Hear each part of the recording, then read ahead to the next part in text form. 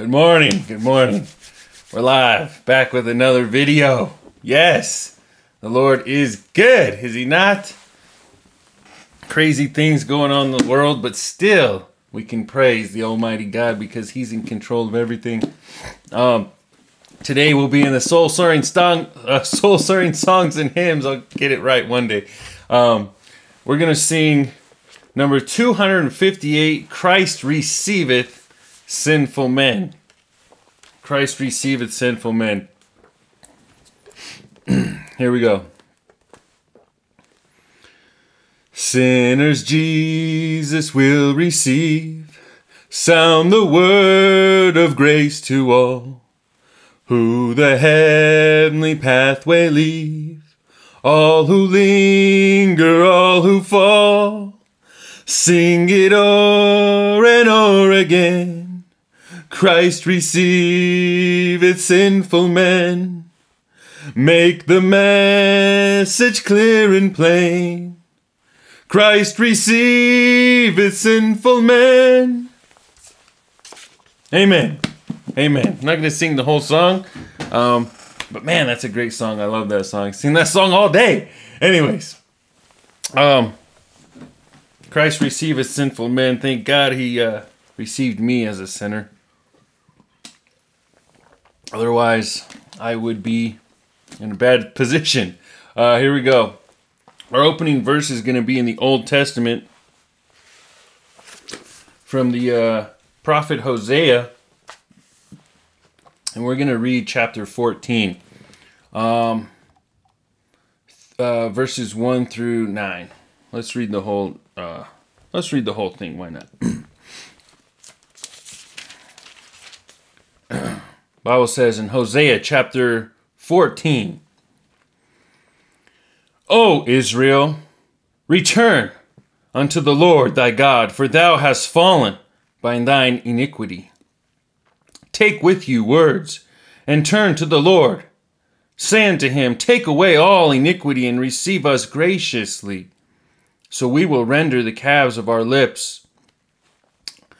Asshur shall not save us we will not ride upon horses, neither will we say any more to the work of our hands, Ye are our gods, for in thee the fatherless findeth mercy. I will heal their backsliding, I will love them freely, for mine anger is turned away from him.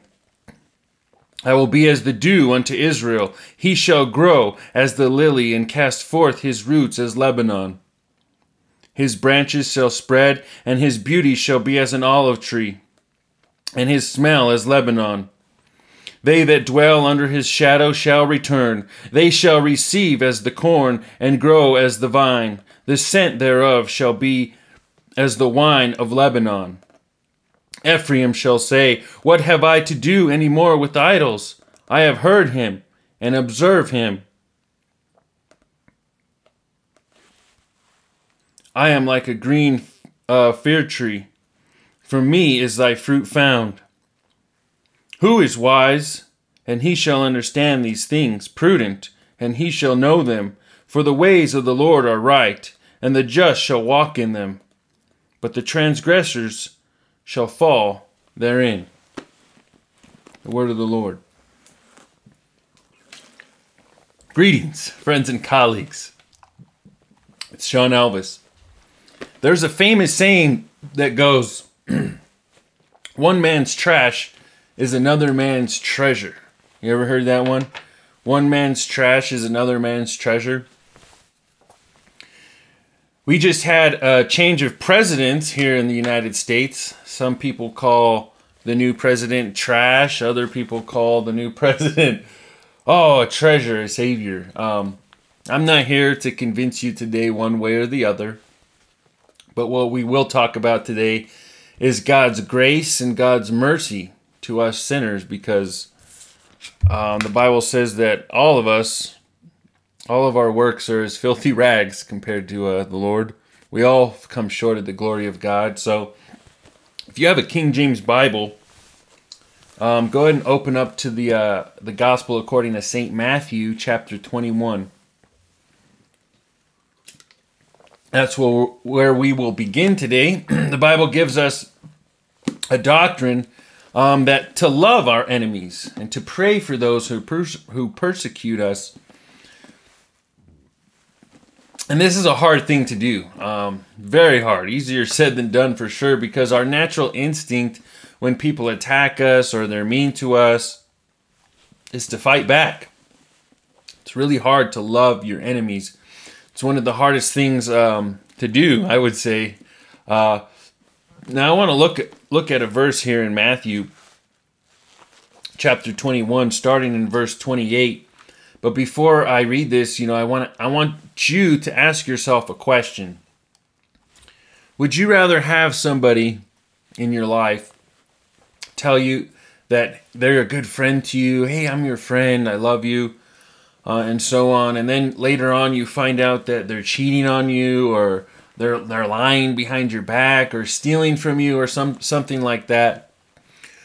Or would you rather have somebody who, you know, maybe they don't really talk to you very much, uh, maybe they don't even really particularly like you, um, but, the, you know, they kind of just leave you alone. But when you do deal with them and you do talk to them, they're at least honest with you. You know, maybe they don't say the nicest things, but at least they're honest. Um, and they treat you fair. You know, they don't steal from you, but they deal with you fairly, you know and they don't go behind your back, you know, who which one of those two people would you rather deal with? So Jesus in Matthew chapter uh, 21 here, starting in verse 28, kind of uh, gives us a similar scenario. Um, and let's see what Jesus has to say about this. Okay, let's see. Uh, verse 28. Je- and this is Jesus speaking. He says, But what think ye? A certain man had two sons. And he came to the first and said, Son, go work today in my vineyard. So Jesus says, Hey, go to work, son. And he answered and said, I will not. But afterward he repented and went. You see, so Jesus is talking about two sons here. Uh, the first son, well, let, us continue reading. Let's and he came to the second, verse 30, and said likewise, and he answered and said, I go, sir, and went not. So you have you have the first son here who tells his dad the truth. He says, "You know what? I'm not going to help you, dad. I don't want to go work in your vineyard." But then later on, he changes his mind and he does go work in the vineyard and he decides to help. Then you have this second son who tells his father, yeah, Dad, you know I love you, Dad. Of course I'll go work in your vineyard today, right? But see, he lied to his dad. He never went to work. He never did what he said he was going to do. Sound familiar? Let's let's finish this little story off here. Verse 31 says, "Whether of them twain did the will of his father?" They said, said unto him, "The first, Jesus." Verily I say unto you that the publicans and the harlots go into the kingdom of God before you. So Jesus is, is talking to the church leaders here, and he's basically telling them, You guys are like the second son, right? Because uh, the church leaders, the Pharisees that Jesus was talking to, were um, uh, making themselves appear to be real holy. You know, they I'm sure they they uh, wore the holy robes and they went to the temple and prayed every day. But they were lying, right? They were telling God, "We're gonna do, we're gonna do your work," but they weren't really doing it, right? And see, you can't fool God. See, God always sees everything. He can even see the thoughts and intentions of your heart. You see, but the thing about Jesus is that He always gives us a chance to get it right, just like the first son who at first said, Nah, I don't want to go to work, but then later on he went to work. Right? See, God would rather us be like that. He would ra- he would rather us go out there and mess up in our lives, do some uh, wicked sins, and then come back to God and say, you know what, I'm real sorry. You know, I, sh- I should have just followed you and obeyed you in the first place. I'm going to do that from now on. You see, we don't want to make the mistake of being like the second person, right? Where we um, tell God we're going to do what he says and then don't do it. But we also need to be willing to give people a second chance when they do decide to come around, right? Like if people decide I'm going to go live a wicked lifestyle and then and then one day they want to come back um, and start doing the right thing, form a better relationship with you, you need to be willing to accept them back. I want to touch on briefly before we get into the next reading um, our opening reading from Hosea. Hosea was a prophet that God instructed to go marry a prostitute. Okay, you, you say, why would God do that, Shaun? well, you know, for one thing, I think uh, he wanted Hosea to demonstrate how corrupt Israel had become. So he was comparing Israel to like a prostitute, like a promiscuous woman. And everybody knows how ridiculous it would be for a man to seek out a wife who was of the streets, right? Who was a, a harlot. So it's kind of God's way of showing Israel themselves, saying, hey, take a look at yourself. This is what you look like. Um, just as ridiculous as it is for a man to marry a whore, you know, that's how ridiculous you guys look to me by uh, not obeying my commandments, right? By by creating all these false idols and expecting me, your God, to still be your God and to still bless you. Um, but I believe, you know, God also wanted to show us another aspect of His His mercy in this story, right? God God's saying, hey, look even though you you you did bad, Israel, like a prostitute, you went out there and you worship false gods. If you get it right, I'll accept you back. If you turn back to me, get rid of the false uh, false idols, and you repent. And you know that's how we need to be. We can't let our hearts get so cold towards people, towards other people, our fellow man, our fellow neighbor, that we don't keep that door of opportunity open that someday hopefully they'll get it right, they'll repent, and we could be friends. So don't burn any bridges. Don't burn any relationships in your in your life. That's uh, something you should not do lightly. Like people, especially now on social media, are real quick to uh, block, block, block, block. Oh, unfriend you, unfriend you. Right? Like, um, just delete you.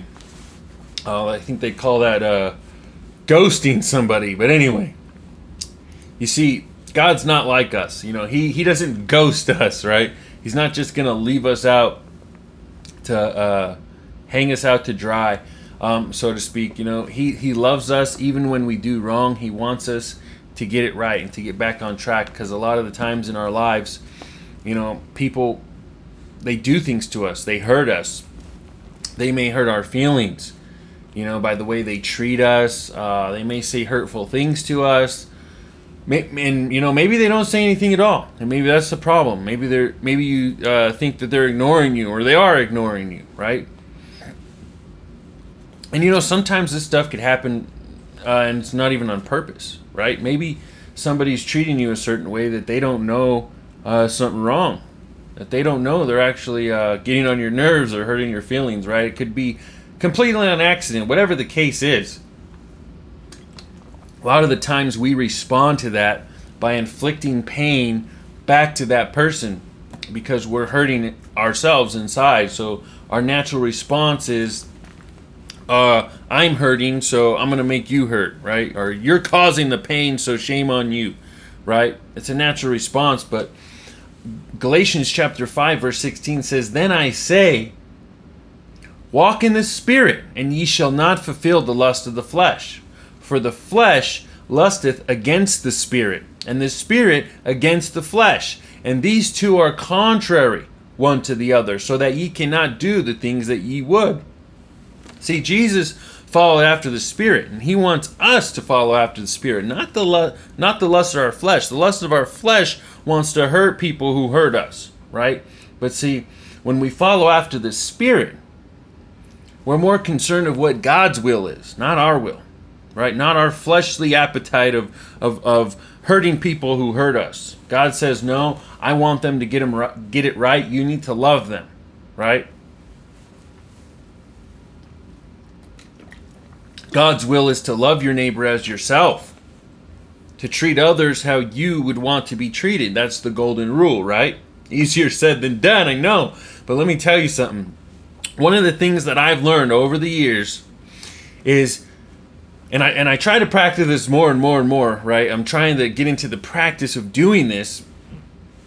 But, you know, when somebody comes against me, uh, however it might be, you know, maybe they cut me off on the road or or maybe they uh, just give me a bad look or they don't smile, whatever it is, right? When when they uh, when somebody does something that I don't appreciate or I feel like um, they're treating me less than, instead of retaliating and treating them back that same way, um, how they treated me, you know, what I try to do is I try to practice the opposite. I try to go the extra mile above and beyond and be really, really extra kind and nice and to this person. And I try to walk in the spirit more. And, and like I said, it's hard to do, and I don't always do it, but at least I always have it in my mind or in the back of my mind that I should be doing this, right? And you know, so the, like the basically the more a person hurts me, hurts my feelings or whatever, the more I try to do good to them. And I think that's what the Bible is teaching is that we need to be merciful to those who uh, who are our enemies, who are against us. Because it's God's will. I mean, think about it. If that was you, if you were to reverse the roles and you were the one hurting somebody, would how would you rather them treat you? Would you rather them treat you mean back, or would you rather them still be nice to you? You know, um, I would rather somebody just be nice to me, right? That would that would make me more inclined to be nice back to them uh, if I was mean, right? Um, but let's look at Matthew chapter nine. Where where are we here? Matthew chapter 9. And we're going to read verses 9 through 13 and see what Jesus has to say about this. Um, and Jesus passed forth from hence. This is Matthew chapter 9, verse 9. And he saw a man named Matthew sitting at the receipt of custom. Matthew was a tax collector. And he said unto and he said unto him, Follow me. And he arose and followed him. And it came to pass as Jesus sat at meat in the house, behold, many publicans and sinners came and sat down with him and his disciples.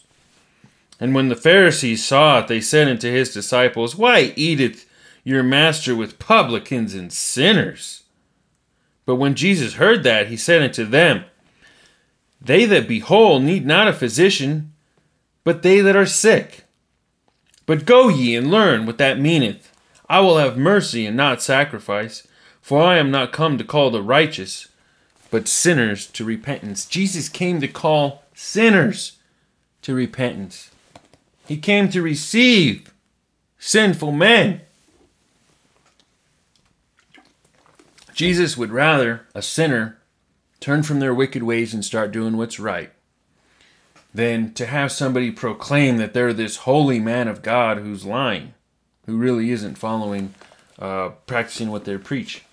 Um, they're basically like uh, hypocrites, Hip- hypocrisy, right? So Jesus cares for us sinners. We could see in this passage that he invited the publicans and the sinners in to eat with him. He invited them over for lunch. He said, "Come on, come hang out with me. I'll teach you something about the Bible. We'll talk about the Bible. We'll talk about." We'll treat each other good. You know, he had mercy, he had compassion, and you know that's what I think we need to learn today to do, especially in these days after the election. You know, there's tension still. Um, I hear people saying, hey, if you're a Trump supporter, uh, shame on you. I don't want nothing to do with you. And then they'll point the finger at the other camp and say, oh, if you're a Biden supporter, shame on you. I want to have nothing to do with you. Right? But maybe that's the exact same person that we need to be loving. That person that you're pointing a finger at, maybe that's the person you should go over there and be nice to, be kind to. Now, I'm not saying that every single stranger you need to go bless them and, and wash their feet, right? But I am saying that you need to make sure you're not just punishing people or hating people without first at least giving them a chance to get it right. You know, at least uh, don't just burn that bridge for no reason, right? You know, um, especially our brothers and sisters in Christ, especially for uh, fellow believers of God and Jesus who who uh, believe the Bible and believe in Jesus.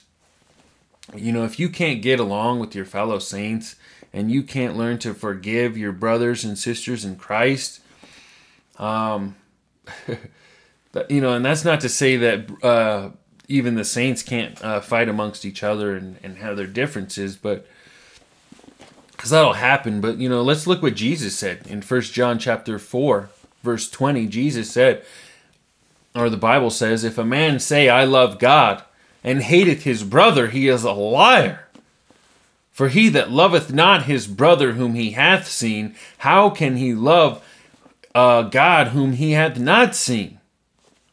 This is the commandment we have we have from him, that he who loveth God loveth his brother also. You need to love your fellow brother. Say, oh, but they don't think the way I think. They're they're a Biden supporter. They're a Trump supporter. You need to love them. You do. Show some patience. Show some long suffering.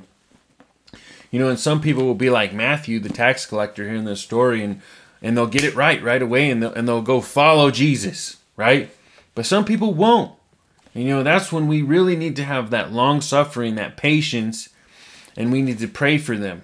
Father, forgive them, for they know not what they do and love them anyways. Now, I'm not a pacifist. Don't get me wrong. If somebody's coming at you and and really uh, seeking to do you some serious harm, you need to defend yourself, right? I'm not a I'm not a non-violent uh, pacifist preacher, but you know what I am is an activist. I believe that there's a time and a place for peace and there's a time and a place for war, just like Ecclesiastes chapter 3, verse 8 says, there's a time to love and a time to hate. There's a time for war and there's a time for peace. And I want to focus in on that peace part today. We need to be peacemakers in this world. We need to love each other.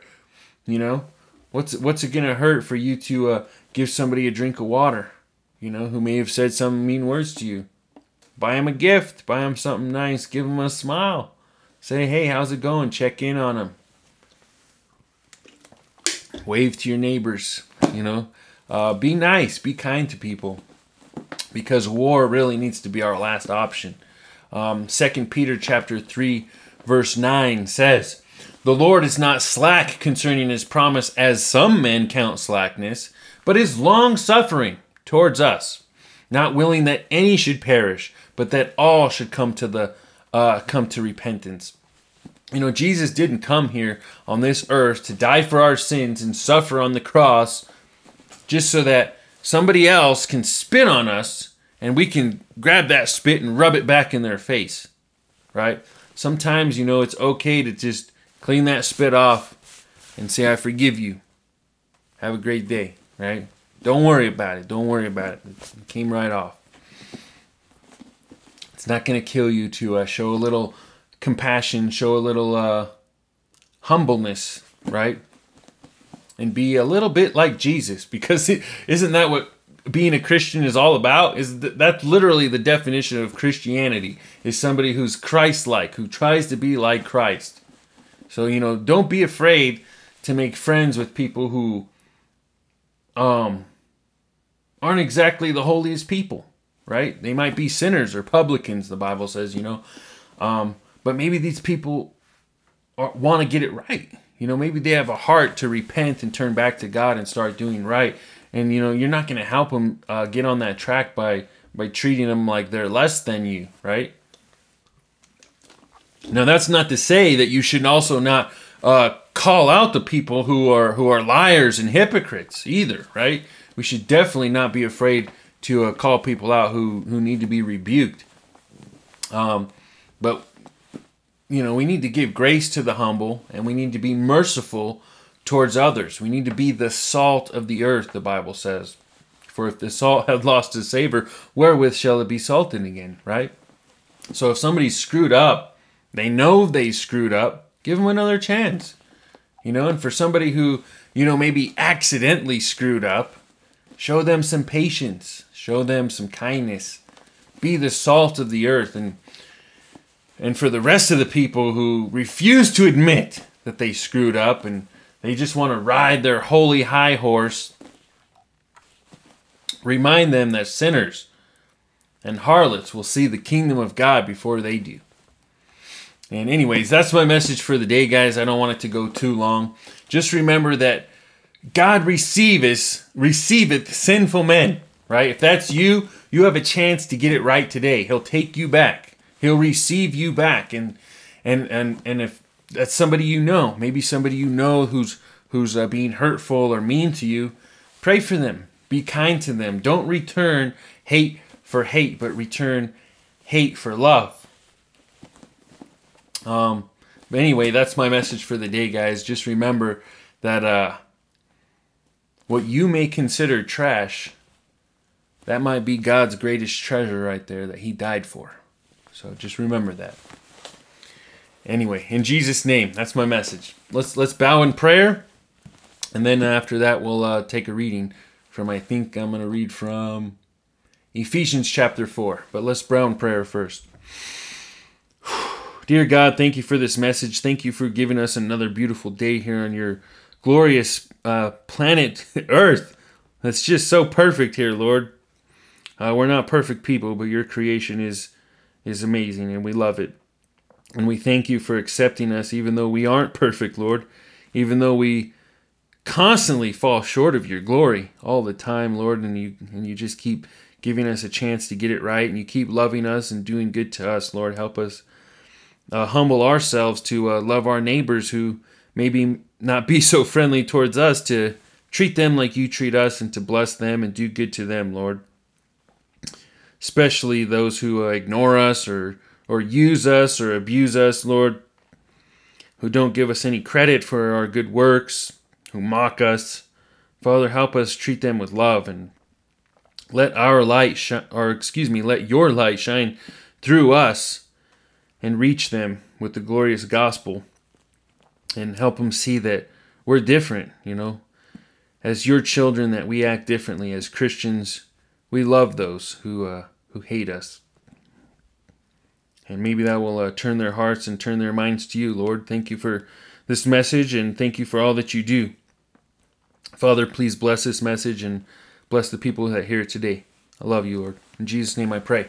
Amen. Amen. Okay, so our final reading, because as always, I always give God the last word, is going to be from Galatians, or excuse me, Ephesians, Ephesians chapter 4, verses 21 through the end of the chapter. God bless you guys. Have a good day. Ephesians chapter 4 verse 20 uh, verse 21 says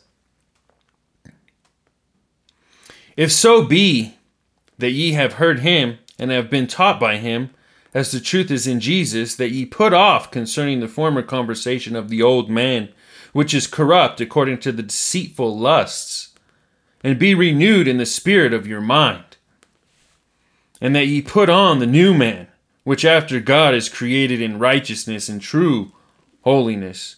Wherefore, putting away lying, speak every man truth with his neighbor, for we are members one of another. Be ye angry and sin not. Let not the sun go down upon your wrath, neither give place to the devil. Let him that stole steal no more, but rather let him labor working with his hands the thing which is good, that he may have to give to him that needeth. Let no corrupt communication proceed out of your mouth, but that which is good. The use of edifying, that it may minister grace unto the hearers. And grieve not the Holy Spirit of God, whereby ye are sealed unto the day of redemption. But let all bitterness and wrath and anger and clamor and evil speaking be put away from you with all malice.